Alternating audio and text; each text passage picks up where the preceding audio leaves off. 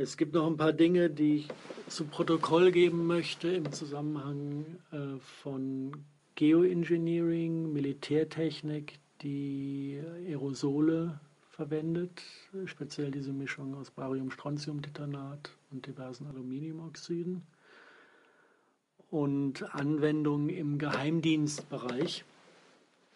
Ähm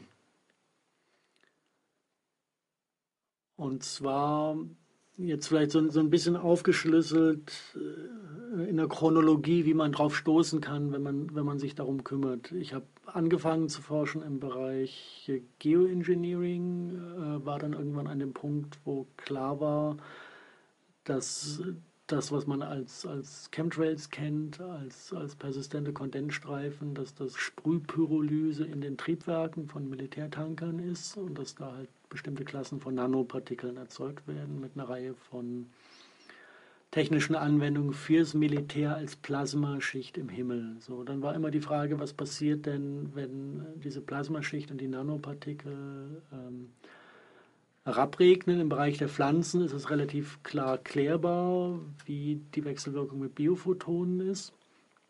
Im Bereich der Humanmedizin wurde die Suche dann spannend, weil ähm, äh, da gibt es einmal sehr, sehr wenig Literatur, aber worauf man stößt, einfach wegen der, der Ähnlichkeit der Partikelklassen, ist eine, ein bestimmter Bereich der ähm, Mikrobiologie, da wo es darum geht, mit, mit Nanotechnologien Proteine zu markieren oder DNAs zu markieren, wo es darum geht, äh, Quantum Computing zu entwickeln, also diese Schnittstelle zwischen Mensch und Maschine herzustellen übers Licht oder zwischen Technik und Biologie über Licht.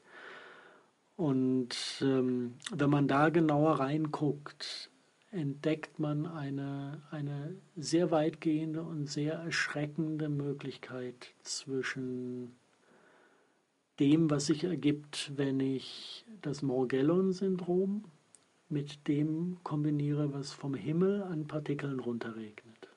Also Morgellons, muss man wissen, sind äh, künstliche Lebewesen, die bestehen also von der DNA her aus einer Mischung von, von Einzellern, Vielzellern, Pilzen, wachsen wie Pilze, formen feine Kapillaren und ähm, diese Kapillare nehmen gerne Nanopartikel von einer bestimmten Klasse in sich auf oder genau genommen von zwei Klassen. Und genau diese Klassen werden eben vom Himmel über die Sprühaktivitäten bedient. Und das Resultat ist, dass ich halt äh, kleine, wie man das im Englischen nennt, Self-Assembling Nanomachines bekomme.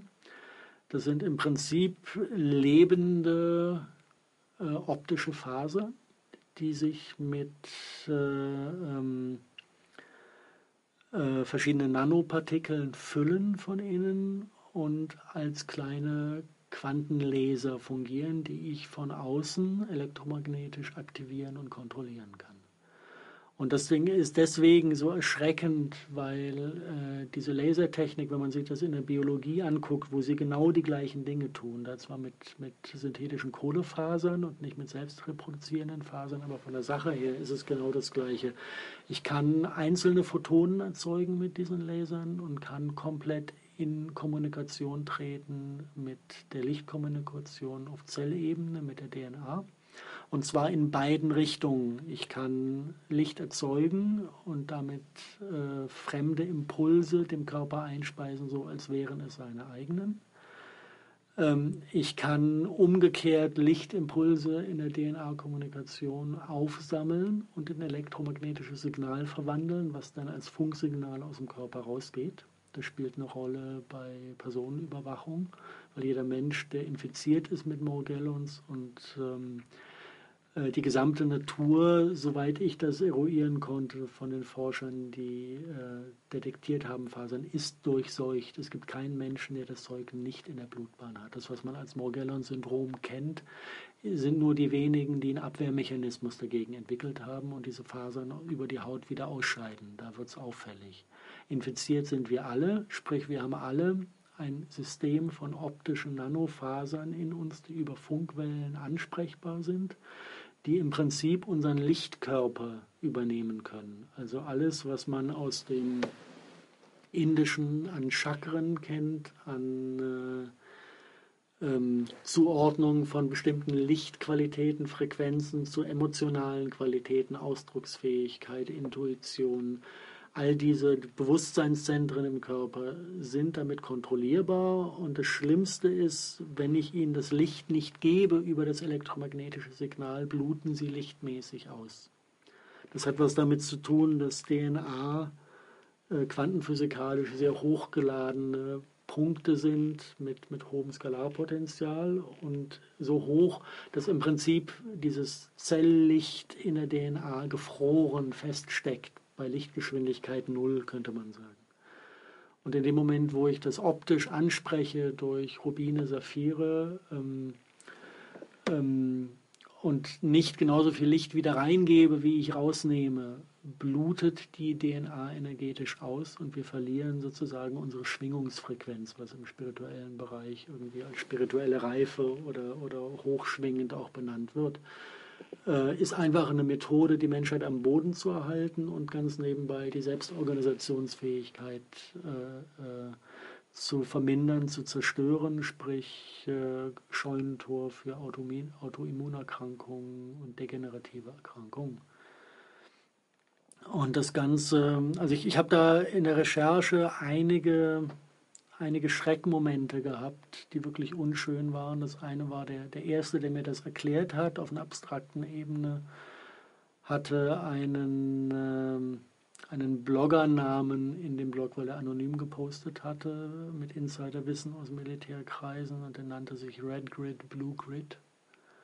Und wenn man ein bisschen reinguckt in die Qualitäten von diesen Lichtgrids, die damit aktivierbar werden. Also einfach die, die Bild, Bildsprache war, war das, was in mir den, diesen Erkenntnisprozess ausgelöst hat, wie das ganze Ding funktioniert. Wenn ich da in die Biologie mal reingucke, was denn eigentlich was ist, ähm, ähm, da komme ich drauf, dass ich über das Red Grid Seuchen auslösen kann. Das ist der gleiche Mechanismus wie in den großen Militärlagern in der Antike sozusagen die, die, die Seuchen ausgebrochen sind. Ähm, äh, Wärmestrahlung vom Körper ist im Prinzip Biophotonenaktivität. Also Rot-Infrarot-Ausstrahlung geht überwiegend von der DNA aus. Und bis zum amerikanischen Bürgerkrieg sind in allen Kriegen auf dieser Welt mehr Leute durch, durch Seuchen in den Lagern ums Leben gekommen, beim Pyramidenbau. Hauptthema, wie verhindere ich Seuchenbildung, wenn ich so viele Menschen zusammenfärche an einem Ort. Und das ist einfach im Biophotonenbereich ein Mechanismus zur Bevölkerungskontrolle, der der Biologie eingebaut ist. Wenn ich so viele Menschen auf einen Punkt bringe, dann ähm, ist der Infrarot-Biophotonenaustausch zwischen den Individuen so hoch. Damit habe ich das, das Terminator-Signal und sage der DNA, bitte die äh, ähm, Virusgene, die passiv in der DNA eingelagert sind, auskoppeln und Bevölkerung reduzieren. Und wenn ich einen Körper von innen rot zum Leuchten bringe, werde ich sehr, sehr wahrscheinlich genau dieses Seuchensignal äh, an die Biologie geben, dass der Körper individuell denkt, er ist gerade in einem völlig überfüllten Camp und muss hier mal gerade ein bisschen reduzieren. Ähm, das ist eine Sache und im blauen Bereich, ähm, das geht dann mehr in die spirituellen, mentalen Bereiche rein, äh, von, der, von der Frequenz her und hat was mit kann mich nicht an alle Details erinnern im Moment mit, mit äh, musste ich nachgucken, Herzfrequenz war auch rot, also die, die, die Herzaktivitäten. Vergessen. War, war noch ein zweiter Punkt, der ist, der ist ähnlich hässlich äh, im, im blauen Bereich. Im Grunde, wenn ich es wenn zusammenfasse, kriege ich ein, ein komplettes Kontrollsystem über die, über die Biologie auf Lichtebene mit dieser Technik. Und ich habe dann einfach mal, weil ich eben auch Pflanzenversuche machen wollte mit diesen Partikeln, wollte ich mal gucken, wer kann mir diese Partikel denn liefern und bin auf ein Firmennetzwerk gestoßen, was ich hiermit auch äh, ein bisschen öffentlich machen möchte. Also der, der erste Hit war im Bereich äh, Anwendung dieser Biotechnologie im Geheimdienstbereich die Firma Mitre, M-I-T-R-E in den Vereinigten Staaten, im, im Prinzip die gesamte ähm, Entwicklung von Biotechnologie für die Geheimdienstgemeinde und für das Militär in den USA machen, aber gesponsert von anonymen privaten Auftraggebern. Das ist ein, ein, klares Ding auf der Website, wo man merkt, wo der Wind daherweht. Das sind private Entitäten im Hintergrund, die da ganz offen zugeben auf der Hauptwebseite, dass sie im Prinzip die Regierung nur missbrauchen, um ihre eigenen Ziele zu finanzieren und vorwärts zu treiben.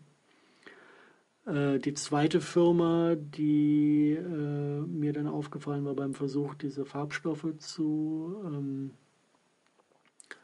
äh, zu beschaffen, war PicoQuant in Berlin, die wohl gerade bei den Farbstoffen wichtige Weltpatente halten oder Monopolstellung haben. Die hatten eine wunderbare Liste mit über 3000 Veröffentlichungen aller Forschungsfelder. Äh, in denen ihre Technik und ihre Farbstoffe zur Anwendung gekommen sind. Und das liest sich wie eine, eine Chronik der Hölle, wenn man da durchguckt. Da ist alles drin, da ist der Geoengineering-Bereich drin, wo sie Untersuchungen gemacht haben, Wechselwirkung von Piezokristallen und Erdmagnetfeld mal zu untersuchen. Da ist die gesamte ähm, technische Schiene der synthetischen Biologie. Äh, Vernetzung von Maschine und Mensch mit abgedeckt, äh, was in die transhumanistische Agenda dann reinführt. Ähm, was nichts anderes ist als die Speerspitze und das Endziel vom Faschismus, unter dem der Planet seit, seit 150 äh, Jahren irgendwie leitet. Das ist genau die Linie der Philosophie und Psychologie und des Geldes vor allen Dingen und der, der, des Personals, was da an den, an den Strippen zieht. Ähm, und wenn man dann mal diese Firmenkonglomerat, genau das dritte ist Bell Labs, da sind die Quantum Dots entdeckt worden, die erste Anwendung von äh, Lichtkommunikation in der Biologie, wo sie noch nicht mit Piezokristallen gearbeitet haben, sondern einfach mit, mit Schwermetallen, die von organischen Komplexen umgeben sind. Nicht so stabil wie Piezokristalle, aber eine ähnliche Wirkung auch in der Fluoreszenz. Also Bell Labs, PicoQuant, Mitre und wenn man die einfach mal in einen Topf wirft bei Google und guckt, wo die Schnittpunkte dieser Firmen sind, dann landet man bei diesen ganzen internationalen Sicherheitskonferenzen, wo die Geheimdienstler unter sich ganz offen ihre Höllenmethoden besprechen, vermarkten, anbieten, bewerben. Ähm, und es ist so unglaublich, weil es ist noch nicht mal versteckt. Ja, und das, das größte Geschenk von diesen Konferenzen sind die Teilnehmerlisten. Weil das, das war für mich so ein bisschen eine kosmische Bestellung. Wie kriegt man raus, wer da wirklich involviert ist, wer federführend und bewusst diese Dinge, diese Agenda vorwärts treibt. Und die Teilnehmerlisten auf diesen internationalen Konferenzen, das ist das Pack, was in den Knast gehört. Und zwar oder in die psychiatrische Therapie oder wenn man die Möglichkeit hat, ihn einfach mal zu sagen, und das ist, war für mich irgendwie vom, vom Therapeutischen her eigentlich so, so der Satz, wenn mir so ein Mensch gegenübertritt, dann, dann will ich ihm nur sagen, irgendwie, wir brauchen dich nicht, um uns vor irgendwelchen Terroristen zu beschützen. Wir brauchen nur jemanden, der uns vor dir beschützt. Und da warte ich immer noch drauf. Also einfach mal über, also ich, ich habe einiges veröffentlicht. Das ist eine DVD von mir um, im Umlauf, wo ganz, ganz viel, einfach 4,6 äh, Gigabyte Daten zusammengefasst sind, viel zu viel, viele Verbindungen schon da sind. Die, die ganz heiklen Punkte, die ich jetzt angesprochen habe, habe ich da rausgelassen, weil klar war, dass ich die Veröffentlichung nicht überleben würde. Ähm, aber gerade wenn man diese Konferenzen findet, also jetzt im September ist eine in Dresden, die kann man sich angucken, wie, wie sie den Kram bewerben. Es ist unglaublich, ganz offen und ganz unverblümt. Ähm, und einfach mal wirklich den, den Firmen und diesen Konferenzen nachstiefeln. Das gleiche, äh, also der Bereich Mikrobiologie ist halt eine Sache, das läuft direkt unter Geheimdienst. Der Bereich äh, der Funkwellen äh, läuft unter dem Terminus äh, Integrated Geospatial Intelligence Solutions. Gibt es auch internationale Konferenzen zu dem Thema, wo die gleichen Charaktere sich die Klinke in die Hand reichen. Und der andere Aspekt, nämlich der Funkwellenaspekt von der Technik, abgehandelt wird. Schön voneinander getrennt, damit man die Verbindungen nicht so offensichtlich sieht. Ja, aber ähm, das sind die Events und die Treffen, wo diese Leute zusammenkommen. Und ähm, ja, was, was mich, also der, der Punkt, wo, wo bei uns klar war, das können wir in der Form nicht, nicht öffentlich machen, ist wirklich, also der Kernpunkt, diese Übernahme des Lichtkörpers des Menschen durch die Maschine-Mensch-Schnittstelle, die derzeit ganz offiziell für Diagnosezwecke in der Mikrobiologie entwickelt wird und die übers Geoengineering äh, ohne Einverständnis der Patienten und Versuchspersonen international im Kontext Morgellon Self-Assembling Nanomachines in der breiten Masse angewendet wird. Und äh, das ist so perfide, das ist so böse, äh, da haben ja einige Leute schon drauf gesagt, das ist auch nicht menschlich. Den Spruch habe ich öfters gehört. Da ist irgendwer anders, der die Strippen zieht, äh, um uns als Gattung komplett unter die Fuchtel zu kriegen. Was, was man natürlich, also das, das ist ein Aspekt noch von, ähm, von dieser Morgellon-Technik. Es gibt eine Killerfrequenz im blauen Bereich. Das war das, was mir vorhin gefehlt hat. Blue Grid. Genau, da war der Sprung irgendwie nicht groß genug. Ähm, das ist eine Frequenz, wo die Morgellons anfangen, sich panikartig zu vermehren. Also ich habe Bilder gesehen, wo du vier Morgellons in eine Petrischale legst und nach 24 Stunden quillt die über. Und das ist sozusagen Exekutionskommando an den Körper. Wenn der anfängt von innen blau zu leuchten, Einzelphotonen, dann fangen die Morgellons an, dich von innen aufzufressen, sich zu vervielfältigen. Und ähm, die üblichen Symptome davon sind Nasenbluten, Ohrenbluten, Bluten aus dem Arsch, Gehirnschlag oder Herzinfarkt. Und die Prozedur dauert ähm, in der jetzigen Anwendung etwa zehn Monate. Also ganz langsam den Prozess, damit es nicht auffällt, vermute ich. Aber man munkelt, dass in der militärischen Anwendung es auch innerhalb von Minuten gehen kann. Und es gab ja mal so eine Phase, wo so viele Tiere vom Himmel gefallen sind. Also die, die Vögel, die dann plötzlich zu Hunderten im gleichen Moment runtergefallen sind. Massensterben bei Walen, bei Fledermäusen. Ähm, ähm, die Symptomatik ist dieselbe an den Kadavern. Das ist sozusagen dann das Terminus-Signal in konzentrierter Form. Und damit nehmen die sich raus, jede Schlacht in, jedem beliebigen Krieg nach ihrem Belieben schlagen zu können. Die können eine gesamte Armee innerhalb von ein paar Stunden tot umfallen lassen. Und das verschiebt natürlich das Kräftegleichgewicht auf dem Planeten hier auf eine unsägliche Art und Weise zugunsten der Hochfinanz, wenn die das kontrollieren. Und Hochfinanz heißt immer auch UNO, das ist eine Institution, die ist nicht zu unterschätzen. Ja, die ist gegründet worden von Globalisten, um die Welt zu beherrschen, aus keinem anderen Ziel. Die Geschichte kann man überall nachlesen. Und nur die Medien geben es irgendwie anders wieder, weil die UNO soll uns ja als friedliche Lösung verkauft werden und nicht als Diktatororgan.